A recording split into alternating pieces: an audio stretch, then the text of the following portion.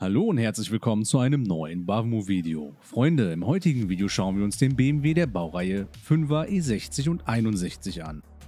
Unser erstes GWT, was damals scherzhaft den Namen der Engel unter Bengel trug, ist nun dreieinhalb Jahre alt. Deswegen frischen wir dieses nun auf und schauen uns an, wie die Preise sich nun nach so einer Zeit verändert haben. Schaut doch gerne auch bei unserem Zweitkanal Boxengasse vorbei. Dort laden wir regelmäßig Reactions zu automobilen Themen und euren Fahrzeugen, welche ihr uns bei Insta zusendet, hoch. Wenn ihr selbst live dabei sein wollt, folgt uns gerne bei Twitch oder auf www.bavo.tv. Links in der Beschreibung. Nun genug gequatscht. Ab zum Gebrauchtwagen-Tipp. Los geht's.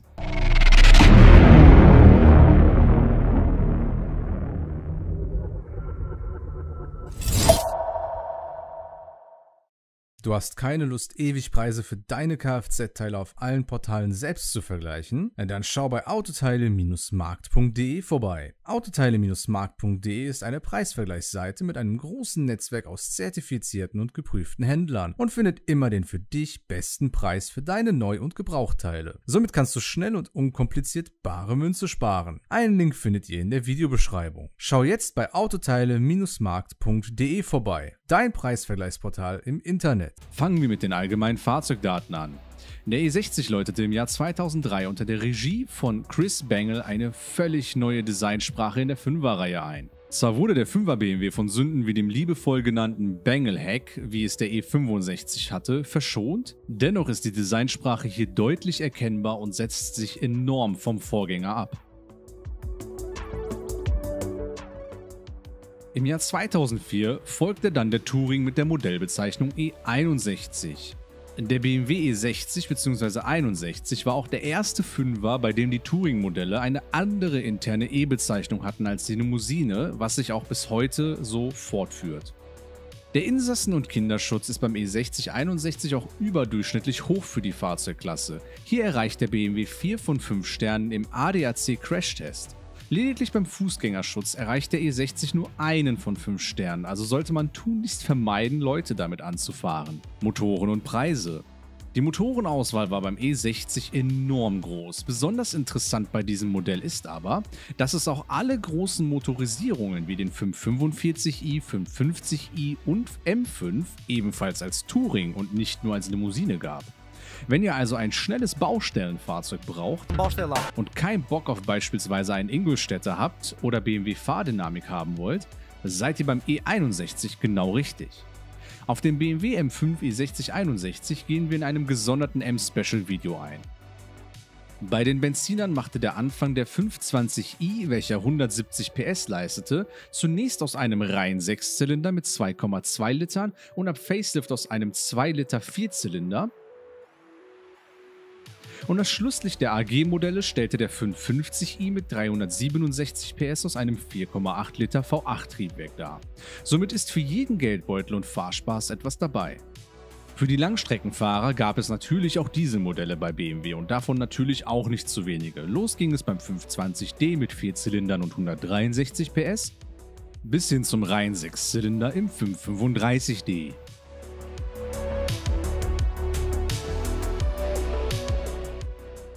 Probleme der Baureihe. Im Facelift vom 520i wurde der N43B20 verbaut, welcher leider nicht sehr robust ist. Hier gibt es leider häufig Probleme mit der Steuerkette. Achtet also beim Kauf auf ungewöhnlich hohe Rasselgeräusche von vorne oder schaut am besten in den Rechnungen direkt nach, ob diese nicht schon gewechselt wurde. Das gleiche Problem hatte der 520D ab Facelift, bei dem dann der N47D20 verbaut wurde. Bei den Sechszylinder-Dieselmodellen machen die Dreiklappen gerne Probleme. Diese sollte man, wenn nicht schon längst getan, am besten vorsorglich entfernen oder entfernen lassen, da diese sich lösen können und somit Kunststoffsplitter in den Brennraum gesaugt werden könnten. Ihr solltet die Turbolader prüfen, insbesondere bei den Benzinern, da diese oft durch falsche Handhabung der oder des Vorbesitzers oftmals in Mitleidenschaft gezogen werden könnten.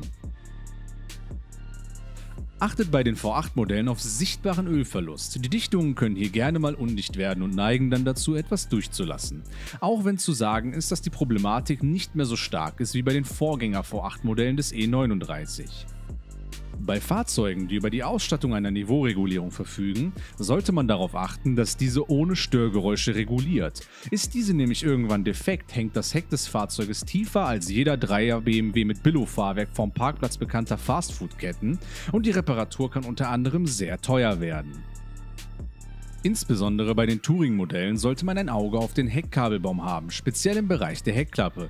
Dieser bricht nämlich gerne an der Knickstelle. Dafür gibt es aber einen speziellen Reparatursatz seitens BMW. Bleiben wir im Heckbereich. Hier gibt es nämlich leider weitere Anfälligkeiten. Sind beispielsweise die Abläufe des Schiebedachs dicht oder die Dichtungen der getrennten Heckscheibe oder Rückleuchten defekt, sammelt sich das Wasser fast immer in der Reserveradmulde, was dazu führen kann, dass viele Ausstattungen auf einmal ausfallen, wie zum Beispiel PDC oder die Anhängerkupplung. Ein weiteres Problem mit Feuchtigkeit hat das Antennendiversity, welches bei Touring-Modellen im Dachspoiler sitzt. Hier kann es ebenfalls dazu kommen, dass Feuchtigkeit eintritt und ihr keinerlei Radioempfang mehr habt. So viel zum Heckbereich. Beim iDrive-System solltet ihr darauf achten, dass dieses vernünftig funktioniert, insbesondere bei heißem Wetter, falls ihr das Fahrzeug im Sommer begutachtet. Hier kann speziell das alte System aus den Vor-Facelift-Modellen ausfallen, da die CCC-Einheit hier defekt sein kann. Wenn möglich, greift lieber zu einem Facelift, welches mit einer Head Unit High arbeitet. Dies ist nicht ganz so störungsanfällig und BMW hat mit dem Facelift das iDrive-System komplett überarbeitet und aufgeräumt. Ausstattung beim E6061 gab es zahlreiche Neuerungen, die das Fahrzeug technisch deutlich vom Vorgänger abheben und moderner machten. Mit dem iDrive-System revolutionierte BMW damals die Infotainment-Systeme in Fahrzeugen. Die erste Version in den Vor-Facelift-Modellen war hier zwar noch etwas unaufgeräumt und wirkte schnell altbacken, doch im Facelift wurde diese komplett überarbeitet und die Oberfläche so ausgearbeitet, dass man selbst in heutigen Modellen erkennen kann, woher der Ursprung dieser kam.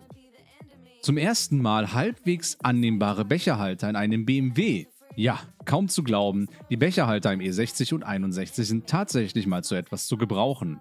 Das dürfte in der 5er-Reihe definitiv einer der größten Revolutionen gewesen sein.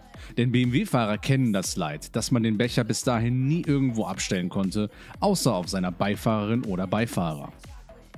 Ein Head-Up-Display hat seinen Weg nun auch in die Armaturenbretter des 5ers gefunden, natürlich gegen Aufpreis. Ebenfalls erstmals in der 5er-Reihe BMW Night Vision mit Wärmebildtechnik, Spurhalteassistent, Kopfstützen mit Aufprallerkennung und noch einiges mehr. Wie man sieht, fanden zahlreiche Neuerungen beim Wechsel vom E39 auf den E60 Einzug in die 5er-Reihe. Bei kaum einer anderen Reihe ist der Unterschied zum Vorgänger so groß, außer möglicherweise noch beim 7er E38 zum E65. Ansonsten waren natürlich die altbekannten Ausstattungen wie Sitzheizung, verschiedene Leder- und Sitzpakete, Klimaautomatik und so weiter natürlich bestellbar. Empfehlung Hier empfehlen wir eindeutig den 530i als Facelift. Dieser bietet den perfekten Spagat aus Leistung und Kosten und ist relativ wartungsarm im Vergleich. Wenn man die Möglichkeit hat, an einen 535i ranzukommen über einen Importeur oder ähnliches, wäre dieser auch noch zu empfehlen, da dieser den Spagat noch besser hinlegt, aber leider in Deutschland nicht erhältlich war. Alternativen die Alternativen sind natürlich wieder typischerweise die bekannten Übeltäter aus Ingolstadt mit dem A6 von Audi oder der E-Klasse von Mercedes-Benz aus Stuttgart. Die etwas exotischeren Alternativen kommen hier beispielsweise von Lexus mit dem Lexus GS der dritten Generation, welcher etwas zeitversetzt, also von 2005 bis 2011 gebaut wurde. Der Lexus ist ebenfalls sehr gehoben und erfüllt absolut den Premium-Anspruch. Noch dazu hat der Lexus GS sogar besser abgeschnitten bei Crashtests wie zum Beispiel dem NCAP. Hat aber leider auch eine kleinere Motorenauswahl und ist auf dem Ersatzteilmarkt in Europa deutlich schwächer aufgestellt, auch wenn man sich vielleicht noch bei Toyota-Teilen bedienen kann. Ebenfalls in der oberen Mittelklasse gab es bei Jaguar den S-Type bzw. den Nachfolger XF. Hier wurde der S-Type von 99 bis 2007 gebaut und der Nachfolger XF kam von 2008 bis 2015 auf den Markt. Somit gibt es hier einige Überschneidungen in den Baujahren. Ein weiteres Beispiel wäre noch der Volvo S80, welcher ähnlich gut bei Crashtests wie der E60 abgeschnitten hat. Hier war es baujahrübergreifend aber auch wieder die erste und zweite Generation, die ähnlich gebaut wurden. Die erste von 98 bis 06, die zweite von 06 bis 16. So Freunde, das war's mit dem Bavmo-Video für heute. Wir hoffen, dass euch das Video gefallen hat und würden uns über einen Daumen hoch freuen. Wenn ihr den Kanal noch nicht abonniert habt, dann könnt ihr es jetzt kostenlos tun. Vergesst auch nicht die Glocke zu aktivieren, denn nur so bleibt ihr auf dem neuesten Stand. Wenn ihr live mit uns über Gebrauchtwagen und alle weiteren Fahrzeugthemen philosophieren wollt, dann vergesst auch nicht bei uns bei Twitch auf www.bavo.tv zu folgen oder die Highlights auf unserem Zweitkanal Boxengasse anzuschauen. Also Freunde, vielen Dank fürs Zusehen, bis zum nächsten Mal, eure Bavmo Crew. Your drip is just a water spring. You know I drip different, just the seven seas. I deal with life different, make that limit squeeze.